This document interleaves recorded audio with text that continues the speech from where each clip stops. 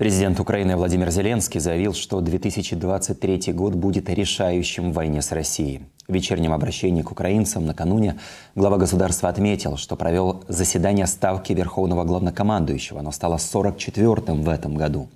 По словам Владимира Зеленского, на встрече обсуждались результаты, которые должен продемонстрировать весь сектор обороны и безопасности Украины в следующем году ради победы.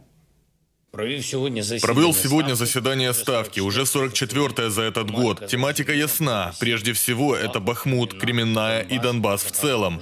Возможны действия противника на восточном направлении, а также наши действия. Заслушали командующих, определились с шагами на ближайшее время. Продолжаем готовить силы обороны и безопасности Украины к следующему году. Этот год должен быть решающим. Понимаем, какие риски возникают зимой, понимаем, что делать весной, а значит понимаем, какие результаты должен продемонстрировать весь сектор обороны и безопасности.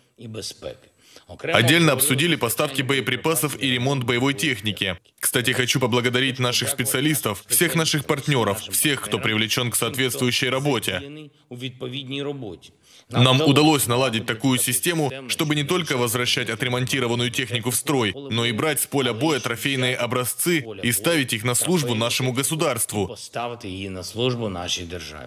Это крайне важный результат года, и все присоединившиеся действительно молодцы.